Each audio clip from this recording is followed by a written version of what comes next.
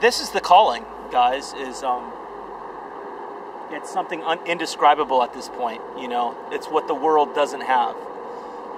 What the world does have is some some nice things, some things that it has collected over time, some material acquisition. as uh, James, the brother of Jesus, has said, there's nothing new under the sun when it comes to the rich persecuting the poor. We're talking about those who have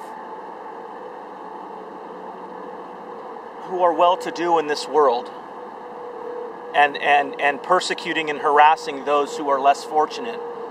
You know, I just read the Beatitudes last night, and it was such an encouragement to know who's chosen. You know, blessed are the poor. This is, excuse me, guys. Yeah, this is, it, it's sad to be in a world where to be able to acquire more and more and more material, one basically has to sell his or her soul at a certain point. You know, where one be- begins to lose the the authority or the capacity to actually have the Holy Spirit come into one's life. And it truly is. Look, we're at a point in society where salvation is coming to a close and judgment is returning. Um, the spirit of Esau it, it, he's on his last leg. Him and his bloodlines, they're on their last leg. They're trying to get rid of the birthright of Jacob as we speak. They're trying to get rid of the human being. Um, and and look, God can't seem to find his way around that, right, guys? you know what I mean? Because look, he wrote the story, and so it's already been prophesied that the power thereof is, is the veil. As the veil is being lifted, and we're seeing through this, the power of the birthright which has been stolen and paraded around by Esau for, for centuries right now. It's we're coming to a, not only a crossroads, but but the end of this age, guys, to which Satan is trying to hold on to the last of what he has. He has no spiritual authority anymore. He, you know, this is the guys. Look, you got to make a choice. Go to Christ. God wants you to live out the power that He's bestowed upon your life. You know, um, we understand that it's a spiritual war, yes. We also understand that God is is he he's a God of wonders. He's a God of miracles. He's a God of uh, you know, just the eternal supernatural existence. If you see God, you know, look, this might not go away, but still, you're going to be better for it in the spirit. He's going to he's going to he's going to basically take you 2 feet off the ground. That's what God wants for you. He doesn't want he wants you to look through this gang stalking. He wants you to go above and beyond that. Hey, nice stop, guy. Uh, no plates, right? Uh, I digress. Um, so look, this is what it is. I had a good workout today. I'm they're really I think they're attacking me because um, I cleared up some issues by taking control of what God would have me to take control. Look, He wants you to live out your free will, but it doesn't mean uh, abandoning what He's brought you through and what He what He's brought you to. It's about taking up your cross with all spiritual authority, and God, He's there for you. He's there to. Uh, lead you through this this gang stalking whether you're seeing the physical proxy of this war go on and come at you a certain way in the physical it doesn't mean that you can't overcome it spiritually. You can overcome it spiritually if you set your eyes on Christ. You know, um, that's the nature of this program. The supernatural can and will overcome the natural. You know, and your vessel is just a part of it. That's it. Look, you've got to overcome. Ask God to overcome your life so that you can overcome the world. He has to be that all-consuming fire. You know, you, there, there's no there's nothing material that God can equate him to equate himself to at this time of our targeting. So know that, like I said, you got that prophetic chip on your shoulder. Um, you're one step ahead of everybody else. Look, God has, has allowed Satan to drive you out of the apostasy, Christian apostasy, um, the 501c3 um, church that has corrupted and is really for the hybrid bloodlines, anyways. It's really not for the birthright. And so, this is one thing to remember is that God has loved us so much that He's now beginning to lift the curse. And so you you might have some that want to keep you in man, you know, under man's efforts, but God would not. He, would not have you to, to be there and to remain there. All right, and so yes, you have the you have the opportunity right now to make some very important decisions for your life. Are you willing to seek out God's revealed will for your life in order that um, gang stalking can take its rightful place, and that's behind you? Are you willing to do that?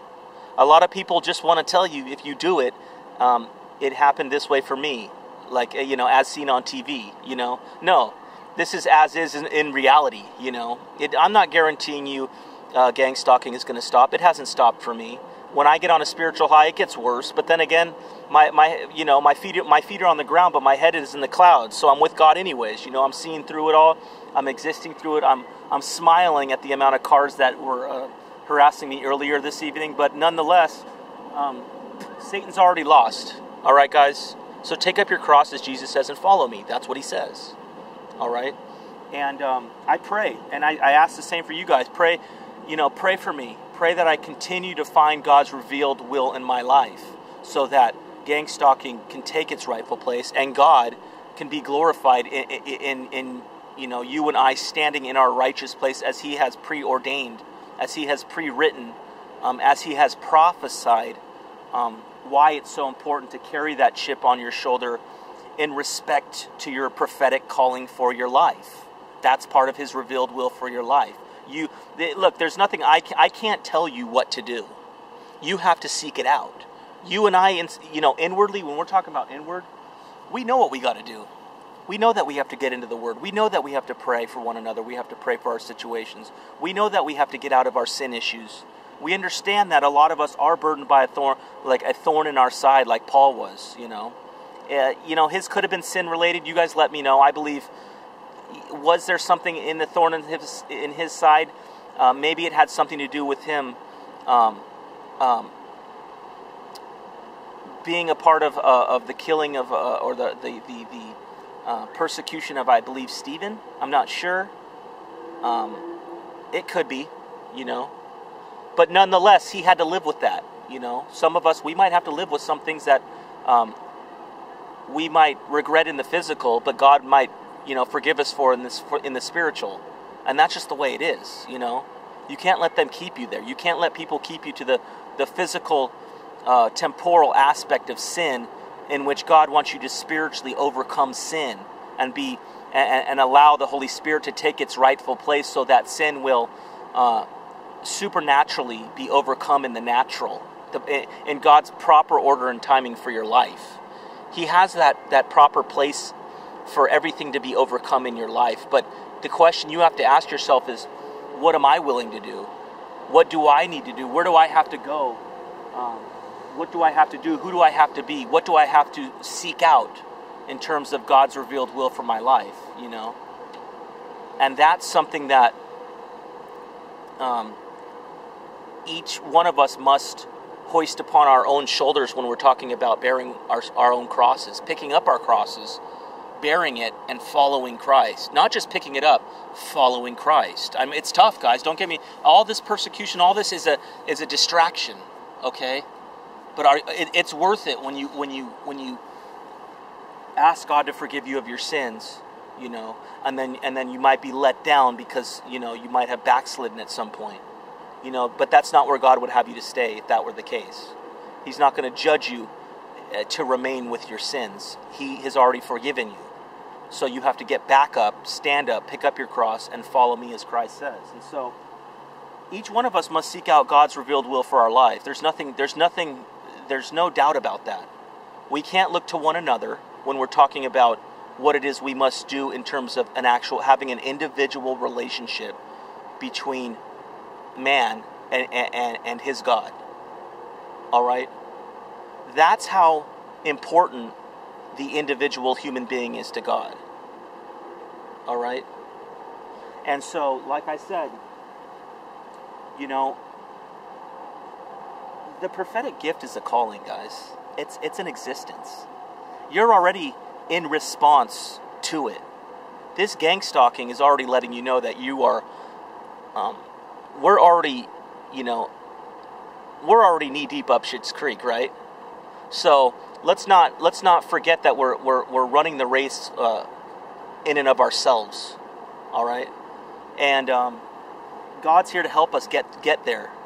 No man can put himself in between us and God in order to stop us from what God has for us, what God has promised to us. That's the thing we must remember is God loves you so much, his cause is unchanging.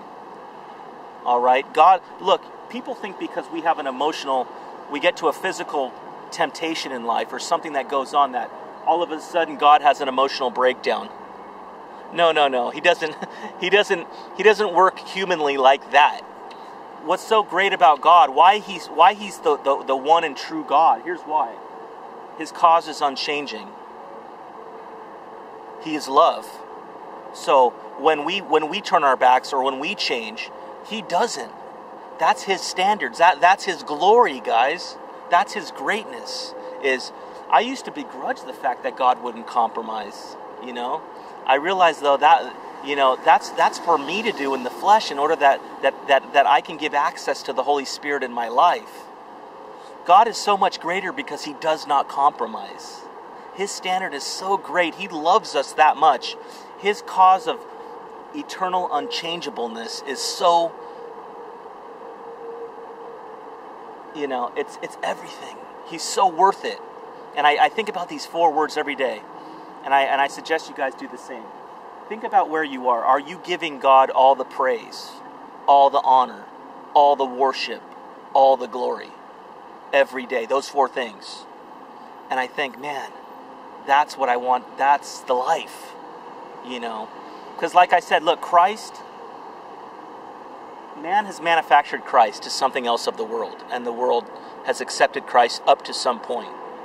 But the one who Christ calls out he's put us into the response of what it is to be called already with this with this gang stalking. He's already let us know. Look, I'm I'm saving myself a remnant here, an elect, who can't be deceived. And some want to tell us we are, but the scriptures already say that we can't. There's another one lighter. you know, I digress. But that's you know that's the thing, guys. Is God has already written these things. Are you going to accept them for what He has already prophesied them to, to come about? Are you going to accept it, or are you going to still um, pretend that God is going to compromise at some level because of the place that He has you in right now. No, He has you in this place for you to compromise and overcome yourself and be able to live up to the guarantee that He has awaiting for, for you and I. And so, guys, be encouraged this evening. You know, this is. I don't get I don't get this much energy. I don't get this much clarity. Uh, but when the Spirit when the Spirit speaks, I just let it go. You know, that's just the Spirit doing its thing. You know, I think my ministry of, of being called to exhort and coach people who are downtrodden, people who are people who have had a lot of loss in life, who have taken so many L's in this world, like myself, who who have taken so much rejection. You know, um, that's why they hate us because the Spirit in us judges them. Christ in us judges them already they're already in the worst place they can be in. You know, they're hanging on.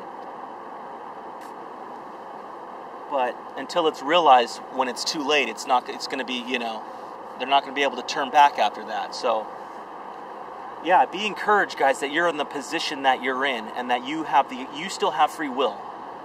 You know. You still have the power of the, the spirit in your life. And until the Holy Spirit is, is taken away, and, um, you know, whatever happens to us, it doesn't matter. Pray that you're count. Pray that you're you are counted worthy. Pray that um, you count your blessings in a, in a spiritually mature manner for what God has given you, what He has shown you. You know, a lot of people are unable to do this. A lot of people are too downtrodden, too weakened by all this. But you, you got to make the choice. You got to step into it. You know, you got to take the leap of faith. You know, and um, it seems like a lot of these devils don't want to stop properly. You could tell there's something. You, you can see the demon that's driving the vehicle. There's something when it's agitated, very agitated state of driving. You know, and um, nonetheless, guys, look. When you understand that you have a calling on your life, and when you're when you're ready to realize that you've been chosen out of this world, um, let there not, let nothing get in between you and your, you and your God. Let nothing, because that's that will be you um, coming to a place where you're unwilling to compromise for the, the standard that God has set before your life, and letting you know, hey, look, I've chosen you out of this world already. You know. And and think about it this way. Wouldn't you rather, and I think about this every day, what are you going to be doing in heaven? We're going to be worshiping constantly 24 7. So, why not make that the, the, the forefront of your life now? Are you worshiping 24 7? We're not going to have time for looking back and worrying about this gang stalking in this world. The scroll will be rolled up, and that will be the, you know, it will be finished. That's it, guys. I want to encourage you guys with this look ahead. Don't even stop. Be blessed. Choose it. Choose to be blessed. Choose to live it out. Understand that God loves for you. He loves you, and He, you know, His standard is unchanging. And that's that's why we're still here You know, because Satan's a little sellout. He hands out gift cards. Satan is such a little snitch, guys. Anywho, guys, I gotta go. Um, guys, keep me in prayer. Uh, we got more to talk about. Stay tuned. So until the next one, I love you guys. All right, guys. Godspeed.